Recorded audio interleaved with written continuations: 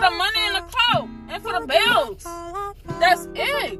If you ain't getting my hair done, if you ain't getting my nails done, if you ain't doing nothing for me, then I don't need you here. It's not 50 50. It's not 80 20. It's 100% to zero.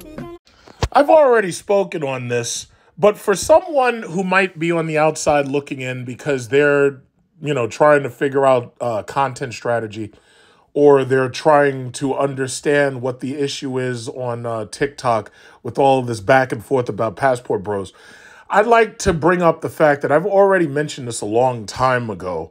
The issue ultimately is um, in America, men in general are suffering from stages of grief. Elizabeth Kubler Ross studied the uh, psychology of dying people, and she came up with the stages of grief. The initial stage is shock. The person is shocked to find out that they're dying. This may be examples like uh, perhaps you get told that you have cancer and you only got like seven months to live or something like that. Shock is always going to be the initial uh, reaction to this outside stimulus. Then after that, you have denial. And you basically don't believe that this is happening to you. Oh, Lord, why is this happening? And then you have anger, where you immediately get anger and you're angry at everyone and you're kicking shit around. You're kicking your book bag, you're kicking your vacuum cleaner, you're, you're angry. After that, you know, some of these people, it, they get brought to their knees and they start bargaining. Oh, Lord, why me? You don't have to take me, Lord. No, not me. And then after that, you've got depression because you realize, yeah, God ain't answering you. In fact, he says, yeah, buddy, it's time to come on home, whether you like it or not. And uh, people get depressed. And a lot of people who fall into depression, they fall into alcoholism, they fall into drug abuse, substance abuse, so forth and so on. Some people never make it past depression because some people, how should I say, uh, delete themselves, i.e., like Robin Williams and, um, you know, some people. You know, this happens regularly. Um, testing is a phase that was put in, but I believe they also refer to testing as uh, trying to find solutions. But basically, you know, testing is when you're seeking a realistic solution. Um, I've heard other words there, but see, Initially, it was only five stages of grief. They started adding more in. Apparently, somebody was anxious to write a book about this and they needed a, a, hook or a gimmick, so they decided to start adding phases in. But anyway, the last phase is acceptance. Eventually, you realize there's no way out of it and you have to accept what's coming. That's the last phase. So, as I'm saying, American men I've I've continuously said this. American men are suffering from what's called anomie, A N O M I E, which means that they do not feel a part of society. They feel that society has left them by the wayside. Black men, white men, I would say not so much for Hispanic men because Hispanic men in general, Hispanic men have a better relationship with their own women than white men and black men do. Liberal feminism has basically ruined this country because what they've done is they've essentially devalued and tried to destroy masculinity. They call it toxic masculinity. I have news for you masculinity is toxic, men are toxic, if that's the word you want to use. You know what men are here for? Men are here to do the dangerous, difficult, and dirty jobs. If I was a fucking caveman, I'd be out hunting animals. You know what? My only job would be running out with a rock or a club and beating animals to death and skinning them and bringing their meat home so that we could cook their meat and eat their meat and I could grow my family by eating the meat of animals that I just beat to death. My other job would be beating other cavemen to death and beating the hell out of them with rocks and bricks and trying not to get beat down myself. That's my only job. My other job, well, besides providing security and besides providing uh, food, we used to say, bring home the bacon. They used to say man's job is to bring home the bacon, but you don't hear these things anymore. The media has screened it all out. You know, it's funny, I was watching the show Velma, new series on HBO. The new Velma for Scooby Doo is black. And on top of that, all of the men on the show are either simps or idiots. All of them. They're not smart anymore. In the old Scooby Doo, uh, Fred and Shaggy and Scooby the dog, you know, they were smart, but not anymore. No, no, no. So they, they they've attacked masculinity on every single level. They've done their best. They they think that to bring women up means that you have to put men down. Men are suffering from anomie, and in that anomie, they are suffering from grief. Here's the problem though. You can't have a strong society if you don't have strong men. The army has been complaining. You can look it up yourself. I'll even put the links down below. The army has been complaining that the recruits that they have now, their bones are weak, that they're undisciplined, that they're obese, overweight, they have poor nutrition. They're, they're literally complaining that their bones are too weak. There was a perfect quote in the third Batman movie, The Dark Knight Rises, by Bane. And Batman tried to throw a punch at Bane. Bane catches his hand, and he was like, Peace has cost you your strength. No, in fact, I got to read it like Bane. Peace has cost you your strength. Victory has defeated you. Because what happened was Batman had made the streets so peaceful until at that point he didn't have to really work out and be Batman no more. He didn't have to fight as hard anymore. And he got so weak that eventually somebody like Bane was able to rise up and kick his ass. Because, see, Bane beat the shit out of Batman during that first part of the movie. If Bane wanted to, Batman would have been dead, but naturally they couldn't write that in. See, the real Bane would have killed him right then and there. But peace, peace has cost you your strength. Victory has defeated you. And that's the reality. That's what America is. America is Batman being beat up by Bane. That's what it is. Bane is the rest of the world. America is Batman. Now, yeah, we've got all this technology. We got rockets and fighters and this, that, and other. But you look at the F 35, the F 35 is fucking crashing every time they try to land the shit. It's a failed program. F 22, they were having problems with that fucking thing suffocating people every time they were flying. I mean, it's, it's disgusting. And granted, somebody be like, oh, it's not that bad. It's not that bad. Well, then I'll call your attention to what's happening over there right now, Ukraine versus Russia. Them Russians ain't playing. They blowing shit up. And they doing it, and they gonna keep doing it. And you can keep fighting, but you, you're losing. You know, you're losing ground. Peace has cost you your strength. Victory has defeated you. We made this world so civilized that at this point, the women have basically devalued the men. So the men that have been devalued are suffering from grief and they're suffering from anomie. They are angry. You're noticing that these school shooters are getting younger and younger and younger. There was just a story you can look it up yourself, but there was just a story. Six year old, I believe it was Virginia, shot his teacher. You've seen enough of the uh, uh, the, these young males who are you calling them incels, they're not getting sex or this, that, and other. You're calling them incels, you're making fun of them and everything. They come back to that school guns blazing. They come back to their church or your church you know, and you're wondering why is it that these males are getting so much younger and anger? Where's all this anger coming from? It used to be the good old days where you could just blame hip hop or you could blame Marilyn Manson, you could blame rock rock music, rap music, hip hop. Uh, you could it used to be the good old days. You used to be able to blame music. You used to be able to say, "Oh yeah, well they're like that because they saw Sub Zero do a fatality in Mortal Kombat. It's the video games." Nah, no, no, no, no, no. Nope. Nope. You, as a society, devalue masculinity, and what you've got is ticking time bombs running around angry.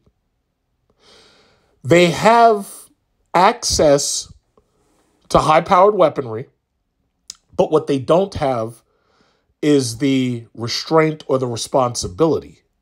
They, it's like they're in Jurassic Park. What did he say? He says, You're wielding your power with the same irresponsibility of a child wielding his father's gun.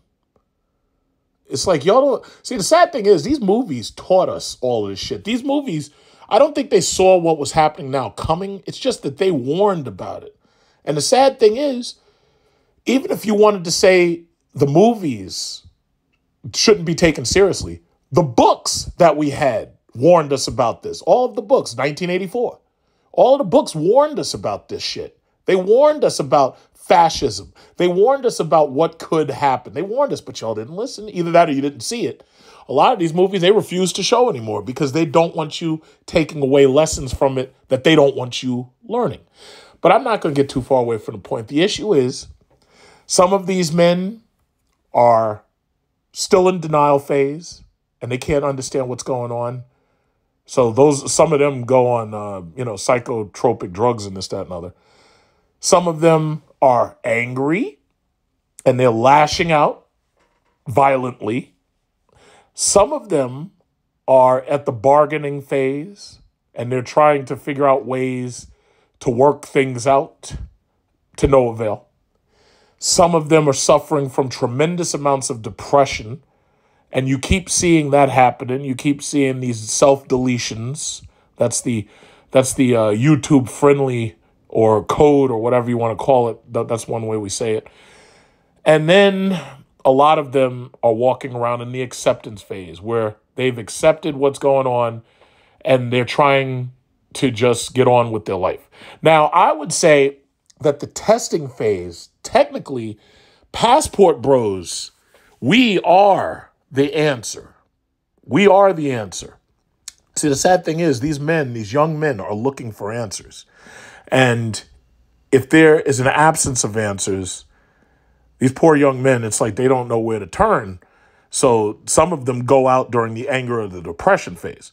Passport bros are telling you listen, get your $200 together, get yourself a passport, build yourself up, make yourself wealthy, get yourself a career. You can fly overseas. You can meet somebody who will show you what true romance, marriage, and a family would be like outside of America because America is not going to do it for you. America has put these women through capitalism, America has put these women in direct competition, direct competition with men. And because they're in direct competition with men, they're not trying to work with you. They're literally trying to take what you have, literally. Or they're just trying to have more than you. Now, there's nothing wrong with that because, you know, that's capitalism, it's competition and competition for the most part creates more opportunity and it creates a how should i say a stronger end product. It's part of darwinism in fact survival of the fittest. Those who aren't fit would be selected out and those who are fit will continue. But the issue that we're having is in a short period of time most people ain't got time for that. They're not, they're not trying to hear it. So the issue basically comes down to are your needs being met? Are your psychological, spiritual, and physical needs being met? That's what this all comes down to. At that point, let's take a look at Maslow's hierarchy of needs. In my biology class, one of the earliest things we're taught is how to look for signs of life. Supposedly, things that are alive should breathe, have some level of excretion, they obviously are going to need food and water. And one of their needs is most likely going to be reproduction. And there are other needs, such as homeostasis, which means that they're balancing their intake with their output. Maslow came up with what's called the hierarchy of needs. So I don't know if you've ever learned about this. So I'm just going to bring it up really quick because as we were having a great conversation on Pablo Frescobar's channel about the hierarchy of needs. So as you can see, the physiological needs are breathing, food, water, sex, sleep, homeostasis, which means balancing the body's intake and output. And then there's excretion, which is basically getting rid of waste.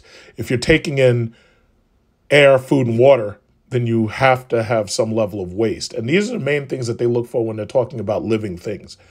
Then there's safety.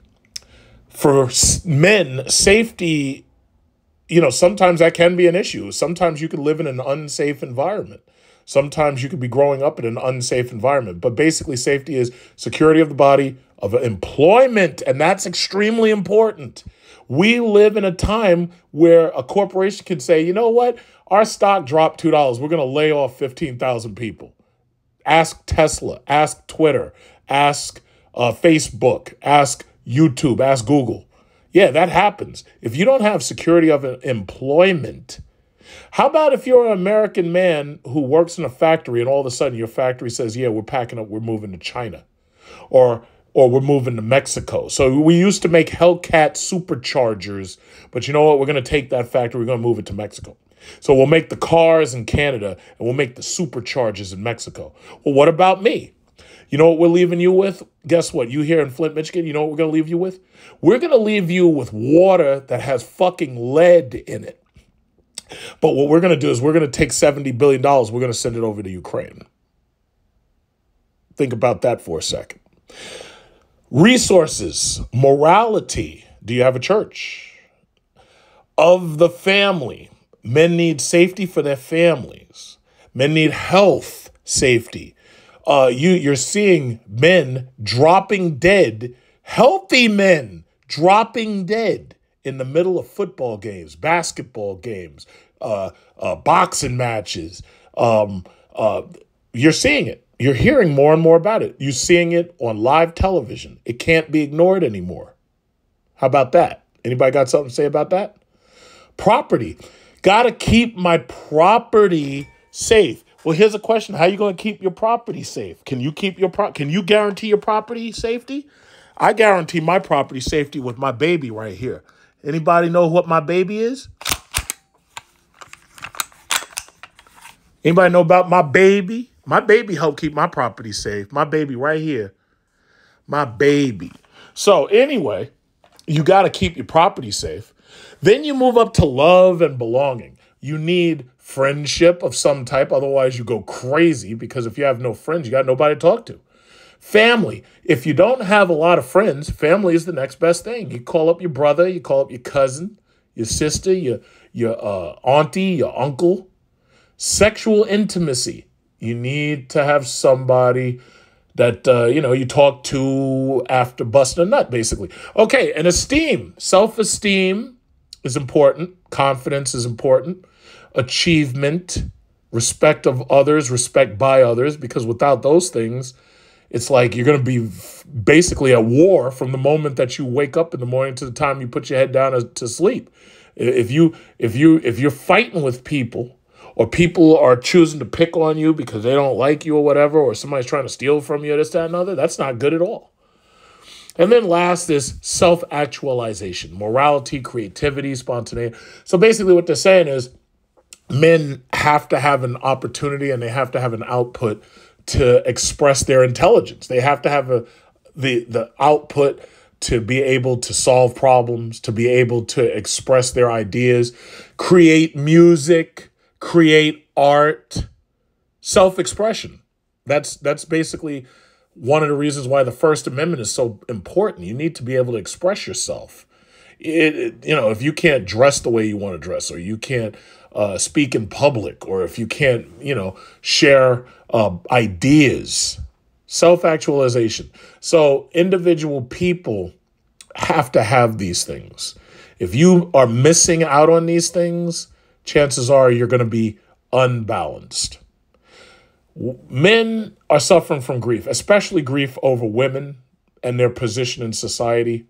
And the reality is, women, they've said this numerous times, they say, yeah, women control access to sex.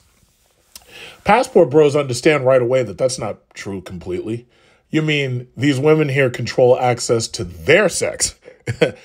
uh, if you're looking for a wife and you're looking for these portions of this hierarchy of need, uh, sex and uh, what is it called, sexual intimacy and a family, you want to have a family, you get your passport, two hundred dollars with shipping and handling, and you be on the next plane out of here, and you can get all these things and you can have these you can meet somebody who gives you all of these things. Because that's the beautiful thing about being a man. We figured all of this stuff out a long time ago. And the reality is um, whether you choose to be with somebody here or you choose to be with somebody abroad you know there is no excuse to be an incel at this point. There's no excuse. You think about it what what when you say incel, usually the idea that comes up in your mind is somebody sitting in their parents' basement playing PlayStation 5 or Xbox, right? The thing about it is a PlayStation 5 or Xbox is like $500. For half that money, they could have gotten a passport. And if they save up and get their career together for about what, thousand dollars, maybe even two thousand dollars, they get a round trip ticket out of this country. They could stay in another country for a whole month, especially if it's one of those lesser, uh, you know, a company, a country with like a low uh, economy, and they meet somebody and be like, "Yeah, I'm in love. I'm gonna marry uh, Consuela. I'm gonna marry Consuela, and I'm gonna, and I, we're gonna have a family." You know, it's like there's no there to tell you the truth, there's no excuse to be an incel at this point. If you're an incel at this point, you must just not want to try. I mean, at this point, you ain't even got to really try. But here's the thing when you're surrounded by a society that is telling you that you're not that important, or you're, you're, you're in a society that shows you that it doesn't value family and that men can be cast aside, but they now see they cast the man aside, but they still want access to your wallet. Even if you don't have children, they want that palimony. They want that alimony. They want that that common law that says, yeah, if somebody lived with you long enough, you're gonna have to uh, uh, uh, pay them out of your property. That's all fucking bullshit, and that's only something that could have come up with this liberal, uh, this socialist insanity that's going on. But Passport Bros came up with an answer. And the answer is the same thing that they told you in the movie War Games. It says the only way to win is not to play. I'm taking my chips and I'm leaving. I'm not playing. So now you see all these angry strags online and they coming after you. Oh yeah, well, you know, when you yeah, you, you, you know, you you just you can't handle the strong women and, and, and you can't handle strong, independent women, and and and you weak, and and you got a small member on you. That's why you can't handle these three hundred pound body positive Lizzos. That's what they say. They literally say this stuff. They say it. Oh yeah, the reason why you can't handle body positivity is because you're small down there. Your nine inches ain't enough. Your ten inches ain't enough if you were a bigger man, you could handle Lizzo. I'm like, are do you hear what you're saying? they say this shit. That uh, you know what Filipinas P Filipina P says. Ah, yes. When you're failing in an argument and you're losing, the best thing to do is attack a man's junk. What do they do if they're not attacking your junk? They're attacking your wallet. Oh, you ain't got no money. Oh, you why you calling me a gold digger? If I was digging for gold, I sure didn't find none. I didn't find no gold. You ain't got no gold. What read your gold? You ain't got no gold. You you you you you ain't got enough in your wallet. You ain't got no gold. If it's not that, it's probably your height. Now, fortunately, I'm six foot six, so I ain't got to worry about that. So my thing to you is you don't have to worry about white supremacy. You got to worry about height supremacy. Oh no, you're not tall enough. It's like I only date men that is six two or higher. You just five eleven. I can't date you. I'm not dating you. You too short. So you get my point. You get my point.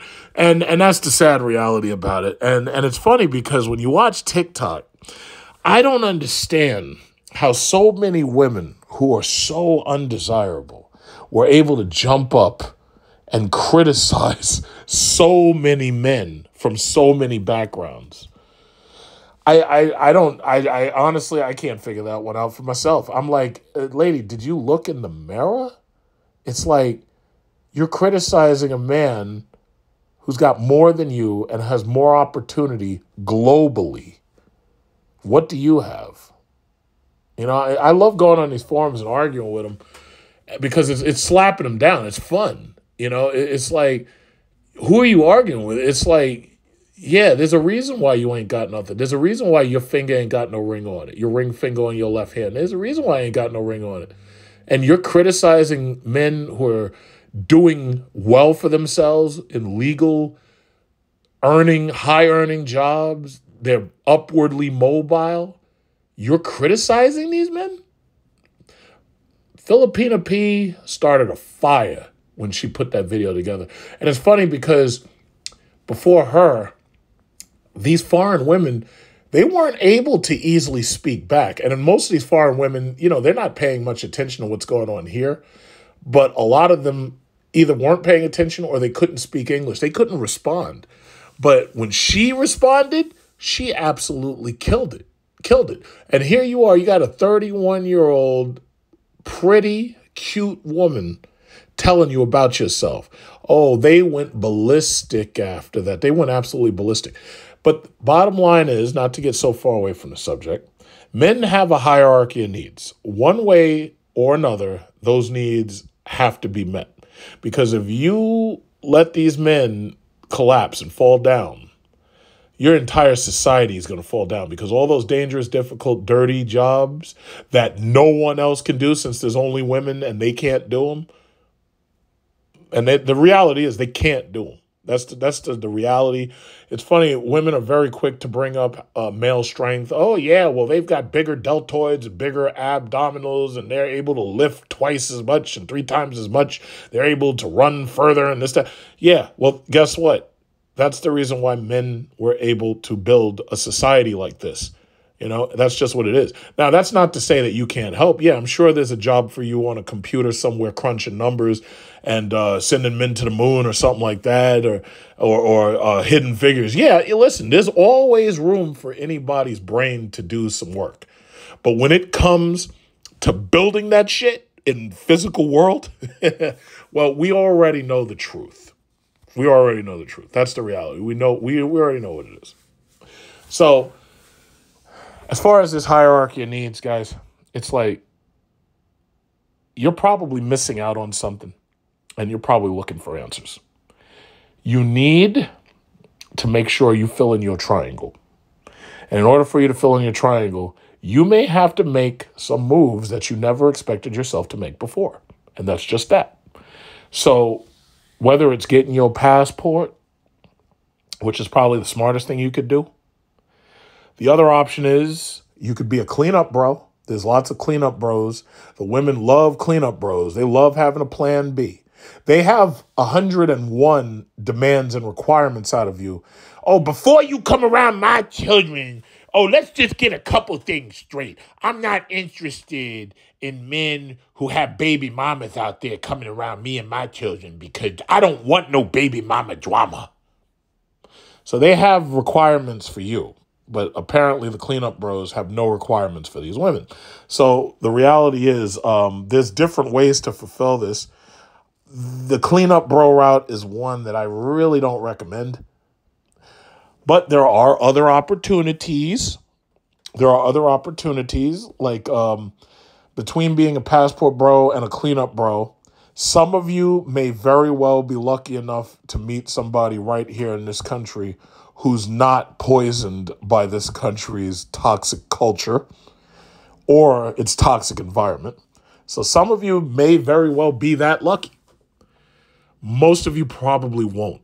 And then, even if you could, a lot of you probably wouldn't want to marry here simply because if things turn to the worst and go wrong and you get a divorce, you know, let, let's say maybe your wife is a cop and she cheats on you with a bunch of other cops, it's like chances are it's like you might not want to stay married. And if you get divorced, the fear of getting divorced, you know, it might make it so that you don't want to end up divorced, losing half of your shit to the laws in this country, or losing custody of your kids. So men have a lot to worry about. And I and I would say this whole thing about the no fault divorce this whole thing about the fear of um, marriage and the fear of divorce and everything, that right there is part of the reason why a lot of men ain't marrying.